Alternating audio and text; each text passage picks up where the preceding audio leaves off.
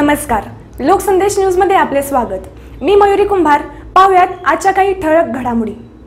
काँग्रेसचे नेते माजी खासदार राहुल गांधी यांनी स्वातंत्र्यवीर सावरकर यांच्याविषयी बेताल वक्तव्य केलं आहे. याआधी सुद्धा राहुल गांधी यांनी स्वातंत्र्यवीर सावरकर यांच्याविषयी अनेक वेळा बेताल वक्तव्य केलं होतं. सारखे असे स्वातंत्र्यवीर सावरकर यांच्याबद्दल वारंवार वक्तव्य करत असल्यामुळं आज मिरजमध्ये कामगार मंत्री तथा पालकमंत्री सांगली जिल्हा सुरेश भाऊ खाडे यांच्या नेतृत्वाखाली सावरकर गौरव यात्रा निघाली. छत्रपती शिवाजी महाराज यांच्या पुतळ्यास अभिवादन करून सावरकर गौरव यात्रेची सुरुवात झाली. आपण कोण आहोत आणि सावरकर कोण आहेत हे बघून त्यांनी वागलं पाहिजे. स्वातंत्र्यवीर सावरकर हे एक महान व्यक्ती आहेत. पुन्हा त्यांच्याबद्दल असे अपशब्द व्हायला नकोत.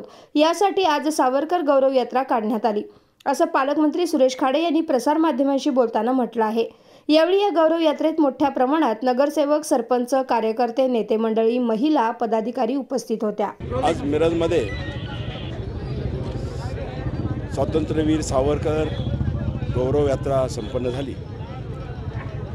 आज या गौरव यात्रेमध्ये ग्रामीण शहर महिला नगरसेवक सगळे नेते मंडळी सगळी उपस्थित राहिली.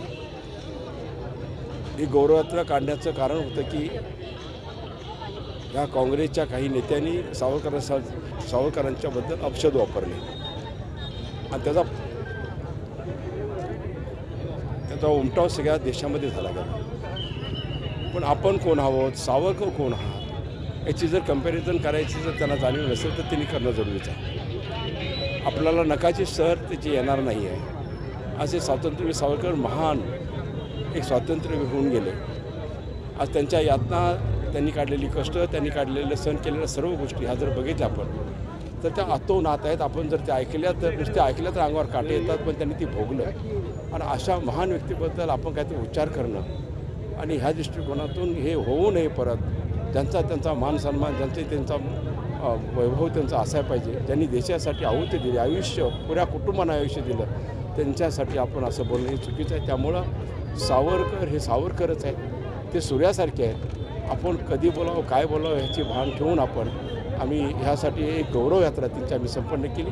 ह्या गौरव यात्रेला सर्व कार्यकर्ते नेते मंडळी नगरसेवक महिला मोठ्या संख्येने इथं उपस्थित राहिल्या. त्याबद्दल त्यांचेही आभार मानतो त्यांनाही धन्यवाद देतो.